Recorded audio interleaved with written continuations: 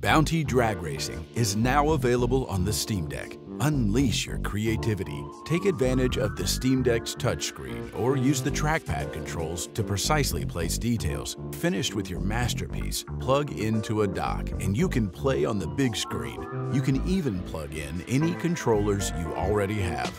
Explore free roam environments, drive around the pits, the lanes, and the track. Do a burnout, stage the car, and try to keep it straight down the track. Featuring street, track, and sand drag racing with in-depth tuning.